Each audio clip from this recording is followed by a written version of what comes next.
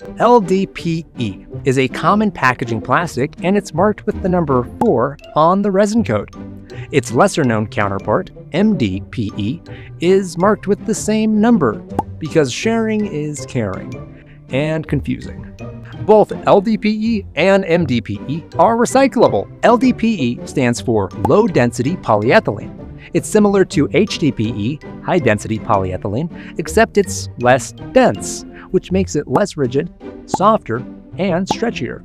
In between HDPE and LDPE, there's MDPE, which stands for, you've guessed it, Modern Dancing Penguin Emperors. It can also sometimes stand for medium density polyethylene, uh, which, given the context, that might make a little more sense.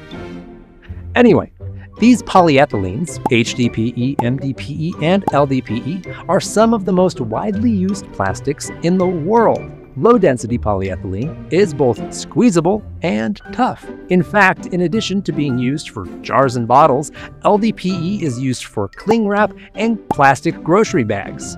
Also, containers made of LDPE have an incredible drop resistance, and they can withstand some pretty tough handling without cracking or stressing. Welcome back, ladies and gentlemen, to another episode of Does It Blend? Where we take everyday objects, like your cell phone, so we don't have a budget for that, so we opted for an LDPE bottle and put them to the test! Versatile, strong, downright gorgeous.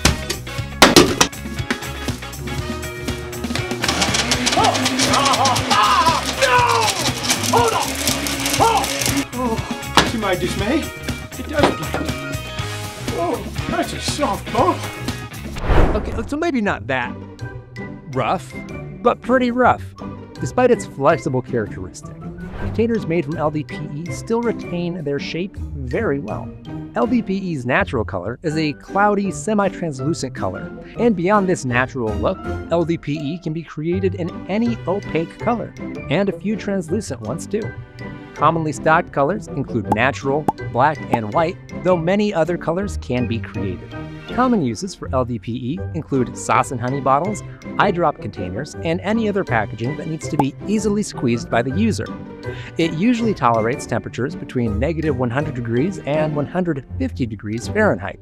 It's easy and inexpensive to manufacture, it's lightweight and stretchy, and like HDPE, LDPE is also BPA free. Of course, you should always test your packaging solutions to make sure that they're compatible with your product and they meet your individual needs. That said, though tough and squeezy, this material does have its limits. LDPE is not usually suitable for large containers or heavy contents due to its soft nature.